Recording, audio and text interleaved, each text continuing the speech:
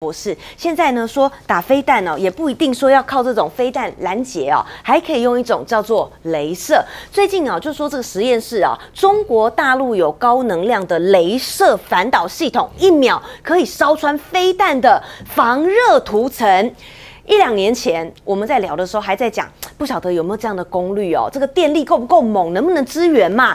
据说中国大陆好像有一些突破了哦，高功率镭射，能量迅速聚焦啊，不然怎么一秒把它打爆嘛？再来精确的光束控制，你要非常快速的时间，你要锁定它，然后可以照在你想要的位置。第三，这种镭射一定会非常的烫，所以它有一个高效率的冷却系统，确保这个镭射在高功率输出的时候还可以运作。高效拦截来袭的导弹，哎，CP 值又很高。传统的武器技术的观念是说，我把热能放在一个硬体里面。现在是观念是我直接把热能可以往外推送，不需要有任何这个呃运运载的弹炮弹啊。现在大家都希望能够发展出这个镭射炮或者电磁炮。我个人判断哦，现在。可能都还不成熟，但是如果会突破，应该中国大陆会先突破。嗯，理由很简单，因为它电池最发达，对，电池做的最好，最好。对，因为你在战场上去，不可能拉一条很重的什么输配电线嘛，对，那可能性是不存在的。可是电磁炮也好，镭射炮也好，偏偏就要在很短的时间里面要大量的电，是的，大量的电，这比那个什么，比那个航空母舰上哦。那个电池弹射用的量更大，那差那更大，所以哦，而且你不能光发一个炮以后就没了嘛，对吧？要不断的能够一直往外送，不能只打这一秒嘛。所以这个里面的这个电磁炮的供电，或者电磁炮的动能，或者镭射炮的动能，大家都在比赛。美国前段时间哦，发展了一个一个什么朱什么特啊？朱朱姆瓦特，朱姆瓦特舰，朱姆瓦对，本来就是他们认为有机会把这个电磁炮给发展出来，所以留个空间装电磁炮。后来电磁炮没弄出来，朱姆瓦特炮已经做舰已经做出来了，那个原来的空间之好就搞个什么，诶，货柜型导弹发射器。朱朱姆瓦特炮真的很搞笑，对，就很搞笑啊。他那个炮 哈，他你知道他一颗炮弹多少钱？对，炮弹哦，不是飞弹哦，对，一百多万美金。对哇，他他那个炮弹就是你看他前面有两个，这个有个盖子盖在那个，他现他现在把那个炮，他因为太贵了，他发现说我我生产不起那么贵的炮弹，你知道他现在在干什么？他把那个炮拆掉了，他在改成装垂发系统。对啊，所以你知道美军现在危险的，真的很搞笑。他们今天讲的是两回事哦，一个是用电力推动炮弹打出去，这个呢是镭射。镭射两个问题，一个是要很大的电力，我已经讲过，发电厂旁边可以安这个，嗯，啊，不停的有发电嘛，对吧？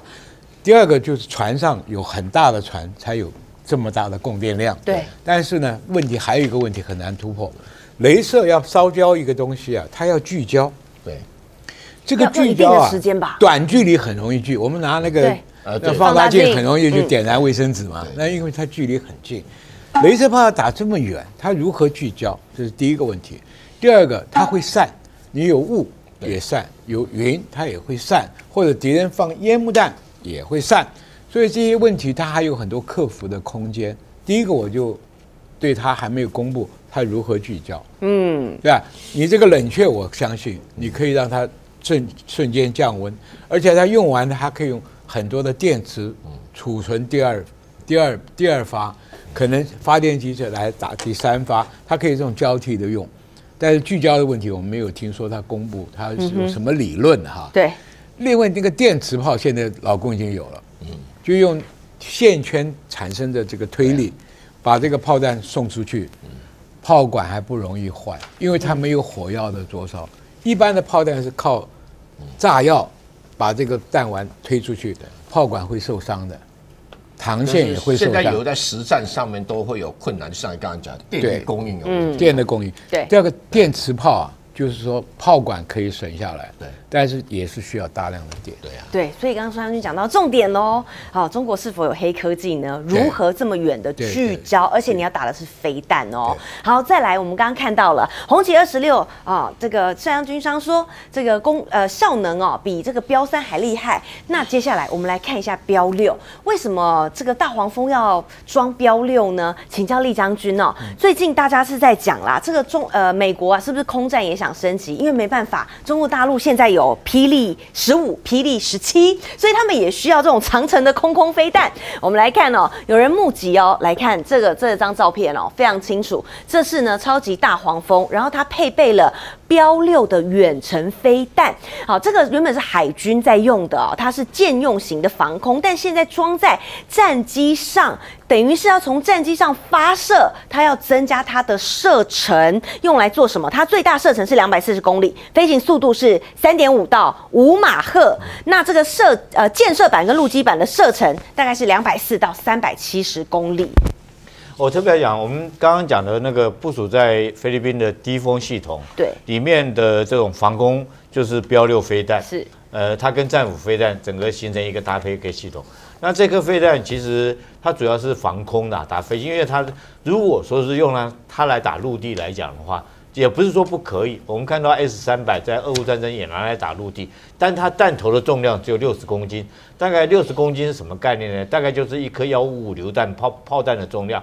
那你花那么多的钱就打了一颗只有六十公斤的炮弹，其实不划算。所以它我觉得它主要任务来讲的话，还是设计在防空作战。那它装在为什么要装在 F 十八上面？F 十八是舰载机，是舰载机，如飞飞机上面这个这个起飞的飞机，主要是航母战斗群的一个防空系统。那它装这种飞弹目的是在干什么呢？就是说现在来讲的话，它发现到解放军的战斗机群来讲的话，他们对对舰的攻击距离已经增加了。譬如说，如果说我们讲轰。轰六 K，如果在鹰击二十一来讲的话，它射程已经可以到这个呃一两千公里以上，所以在这种状况之下，他必须要在一两千公里就把你这架战机给你拦截掉。可是问题是说出在哪里呢？出在就是说这这个轰六 K 出来的时候，它不是只有自己一架飞机出来，它旁边一定有护卫的战斗机。那这些护卫战斗机会不会对 F 十八形成威胁？绝对打得到你，因为它的 PD 十五射程来讲就将近两百公里，所以它必须要有一架飞机带着这种导弹，空对空的飞弹，可以打到两百四十公里以上。也就是说，我发射完导弹以后，我要确保我 F 十六我可以安全返航。我在你的射程之外，我就发射了这个飞弹，然后回来。这是它这个将标六研究挂在 F 十六上面目的。最主要，我觉得最主要目的还是针对解放军来讲的话。他们这个空对舰的攻击距离跟能力都已经加大很多，所以他也必须要延长他的这个防卫的距离，然后不然的话，他的航母就会遭到威胁。但现在问题出在哪里？出在 F 十八这种战机来讲，它是舰载机，舰载机我们都知道，它起飞来讲的话，它一定要有一个这个呃速度要够，对不对？哈，力量要够大，电磁弹射嘛。那你挂那么大一颗飞弹，多了一个重量本身你还有飞机重量，你还有油料，你可能还有还有自卫的这些飞弹或什么东西。那你再加上这么一颗飞弹来讲的话，那你是不是要减少你的油料？还是说你的能力够不够？所以这架实验的飞机，我特别就是说。在想说它是不是从航母上面起飞的，还是从陆地上起飞的？如果从航母上面来起飞，当然我们会觉得说，诶，美军在这方面来讲确实有它科技上的一个进步，不管是电磁弹射能力或飞机这个动力来讲都有很大进步。那如果说只是陆地上起飞来讲的话，那意义就不大了，因为你目的还是在。哎，保护你的航空母舰嘛，所以这个 F 十八这次挂这颗飞弹，我在想，因为它重量真的是很重，所以一般飞机来讲，它挂的重量来讲的话，大概呃十十吨到二十吨左右。那加上这个飞弹，加上油料来讲的话，那你还有多少的飞行航飞行的距离来讲，是很大一个问题。